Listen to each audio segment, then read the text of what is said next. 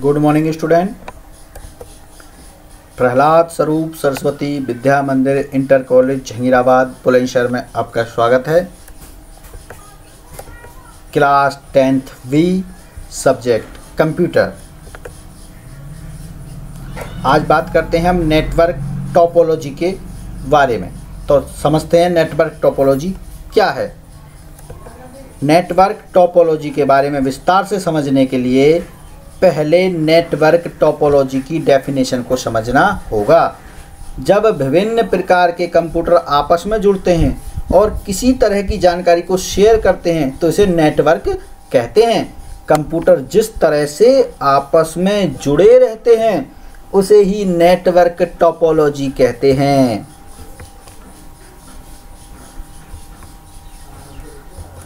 Network topology के प्रकार and types of types of network topology network topology निम्न प्रकार की होती हैं। नेटवर्क को बनाने के लिए इस तरह की नेटवर्क टोपोलॉजी का प्रयोग किया जाता है। जानते हैं टोपोलॉजी के प्रकार क्या हैं और कौन कौन से हैं? नेटवर्क टोपोलॉजी के प्रकार। फ़र्स्ट टोपोलॉजी बस टोपोलॉजी होती है। सेकंड रिंग टोपोलॉजी होती है। Third star topology, four tree topology और फाइव हाइब्रिड टोपोलॉजी। तो आइए आज हम आपको बस और रिंग के बारे में बताएँगे। बस टोपोलॉजी क्या है? आप चित्र के माध्यम से देख रहे होंगे, सेम बस की तरह दिख रही होगी। इसमें आगे फ़ायदे और नुकसान क्या क्या है मैं आपको बताऊँगा। तो आइए चलते हैं बस टोपोलॉजी। इसमें एक तार के द्वारा सारे कंप्यूटरों को जोड़ा जाता है। यह भी नेटवर्क का एक ही प्रकार होता है। इसमें एक ही केबल से प्रत्येक नेटवर्क डिवाइस जुड़े होते हैं। इस केबल के शुरू तथा अंत के सिरे में एक मुख्य तरह का डिवाइस लगा रहता है, जो टर्मिनेटर होता है। यह सिग्नल्स को कंट्रोल में रखता है। इसमें सारे कंप्यूटर एक ही लाइन में जुड़े, जोड़े जाते हैं। इसके लिए टर्मिनेटर का प्रयोग किया जाता है। बस टेपोलॉजी की डेफिनेशन समझने के बाद इससे होने वाले फ़ायदे भी जान लेते हैं। यानी बस टेपोलॉजी के बेनिफिट, यानी बस टेपोलॉजी के फ़ायदे क्या हैं? इसके कुछ महत्वपूर्ण फ़ायदे भी होते हैं, जो आपको हम आगे बताएँगे। तो चलिए जानते हैं बस टेपोलॉजी के क्या फ़ायदे हैं।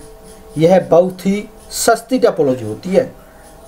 बस टेपोलॉजी के नेटवर्क को क्रिएट करना बहुत ही सरल होता है। इस टेपोलॉजी में कम केबल का प्रयोग किया जाता है, यानी कम से कम तार का प्रयोग इसमें किया जाता है। ये सस्ती भी होती है और इसको क्रिएट करना यानी आसानी से कर इसमें काम भी कर सकते हैं बहुत आसानी से। अगर इसके फ़ायदे हैं तो इसके नुकसान भी होंगे। बस टेपोलॉजी के नुकसान।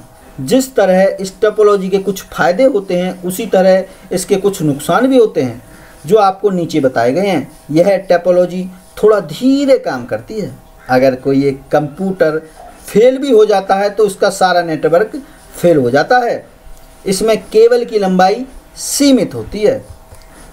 दूसरी बेटा, रिंग टेपोलॉजी। रिंग टेपोलॉजी क्या है? यह नेटवर्क एक प्रकार से रिंग बनाने का काम करता है।